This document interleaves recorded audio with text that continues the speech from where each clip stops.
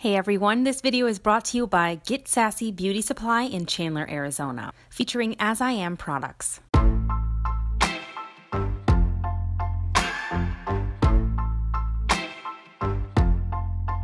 All right, so I'm starting on an old twist out. This twist out is about four days old, and I'm just gonna start spraying it down with some distilled water just to soften it up a little bit.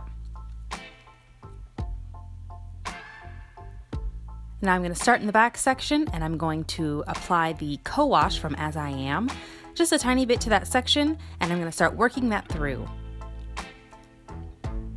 And if you guys know anything about my hair, it takes an eternity to detangle. But using this co-wash, it's so slippery and so moisturizing that it, was like, it took me like 20 minutes to do half of my head, which is a big deal. So I just took a little bit more of that product and worked it through from ends to roots and finger detangled the section all the way down and then twisted it up.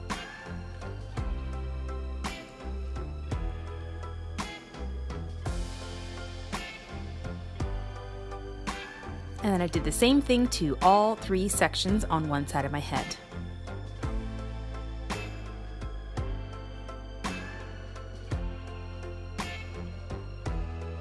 And then once I was done, I had six sections all fully finger detangled. And this is how much hair I lost in the detangling process. Then I got in the shower and I rinsed the co-wash out of my hair and also did some more further finger detangling. I used a little bit more product on parts I thought needed a little bit more cleansing. But this product is so soft and moisturizing, and it didn't leave my hair feeling stripped. It was actually a very clean, smooth feeling after I rinsed it out completely. And of course, because it's so slippery, it made it really easy to continue to detangle. Once I was done with that, I used a t-shirt to blot all the excess water out of my hair.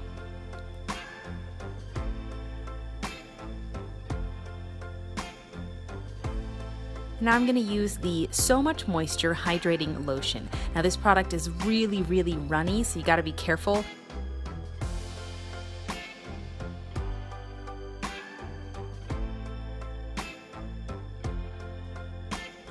yeah, it was kind of getting everywhere. But I'm just going to work that in through the entire section and put one side out of the way. And I'm going to start detangling further with a comb. My hair is not really tangled, it's just I do this so it's easier to flat twist. And this is actually how I do my heatless blowout. Once all the product is worked in and it's all detangled, I'm going to make one large flat twist on the side of my head.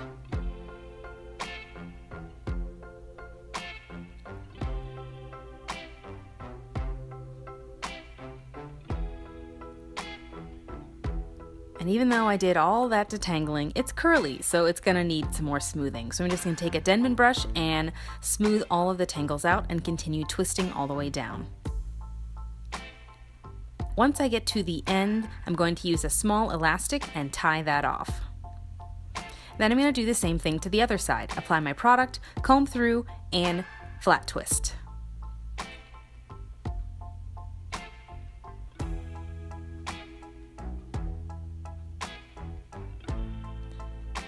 And when I get near to the end, I'm going to use a Denman brush and comb through any knots that I may have caused.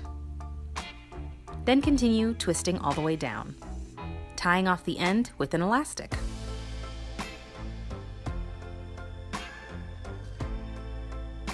And now I'm going to let this air dry.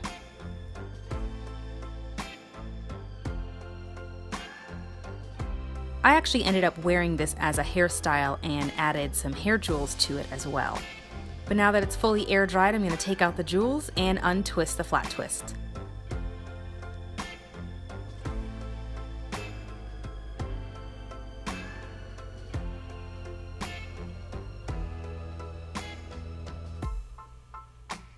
And you're going to end up with something like this. I'm going to take out the other side.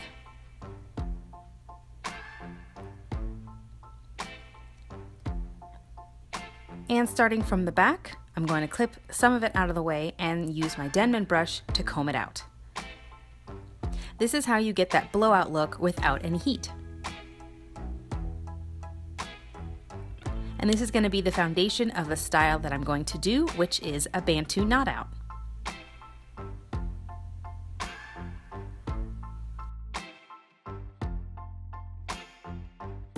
Now that it's all combed out and fluffy and lovely looking, I'm going to take a section in the very front.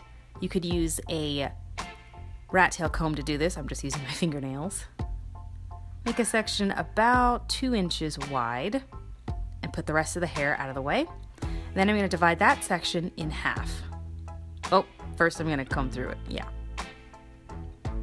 Now I'm going to divide it in half and take a little of that twist defining cream on my fingertip and work that in from ends to root. Take the brush again and make sure all the product is evenly distributed and then I'm going to start twisting it all the way down. And you don't want the top to be too tight because the by the time you get to the end of the Bantu knot, it'll be really, really snug. So you want to start pretty loose. You're going to continue to twist the hair around and underneath the previous knot. And then they'll stack up on top of each other. At the very end, you'll tuck the ends inside. If your hair's not tucking you very well, you can use a bobby pin.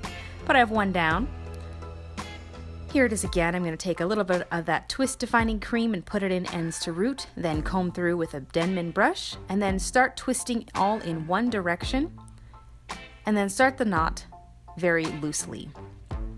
You're going to continue to twist the hair around itself and underneath each knot that you create, and it'll stack on top of itself into a Bantu knot. Again, don't make this really tight because you're going to sleep on this and it's not going to be very comfortable if it's too tight. Also, you don't really want to pull out your hair. Here I am just tucking the ends underneath the knot. And now we are done. I got 20 knots in my head and the parts aren't super clean, but that's okay. The next morning, after sleeping on these knots, it wasn't as comfortable as I would have liked. You're just gonna untwist each knot, kind of like you're unscrewing a bottle cap. Might take some time depending on how long your hair is. Once you're all done, you're going to start separating and twirling the hair around your fingers, just like that. You can put some oil on your hands if you want to to keep the frizz down. I didn't because a little frizz never hurt anyone. Then I'm going to take my pick and start fluffing and fluffing and fluffing until I get the desired look.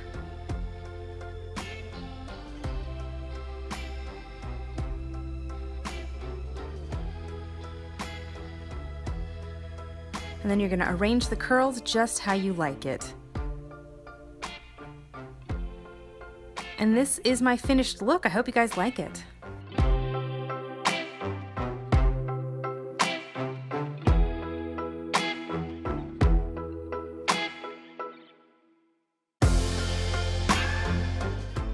You guys can find the As I Am products at Get Sassy Beauty Supply in Chandler, Arizona. You can also go to their website and use the coupon code KOLANA for percentage off. Thank you guys so much for watching. Be sure to visit GetSassyBeautySupply.com.